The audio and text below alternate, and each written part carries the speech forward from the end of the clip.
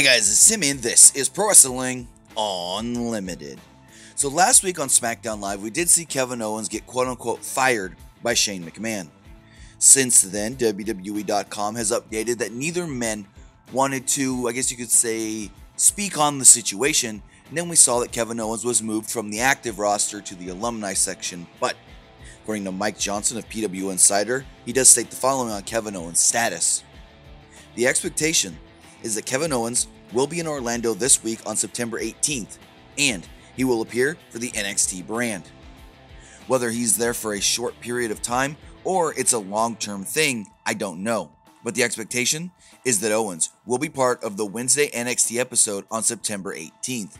And we did see this kind of teased by Kevin Owens after last week's SmackDown. Kevin Owens did send out a tweet that said 14, 24, 20 when you look at what this tweet means. It could have meant a number of things a locker combination, just random numbers that mean something to him. But when you look at it as far as the alphabet goes, 14 is N, 24 is X, and 20 is T, NXT.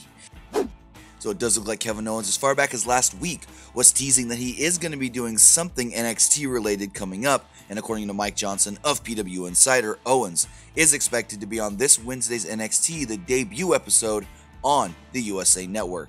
If we do hear anything further on Kevin Owens working NXT, whether it's just for a little bit, whether it's one time, or he's being permanently moved to that brand, we'll have it for you right here on Pro Wrestling Unlimited. But that's going to do it for this episode. Remember to comment below, like and share this video, like us on Facebook, Instagram, and Twitter, and subscribe right here on YouTube.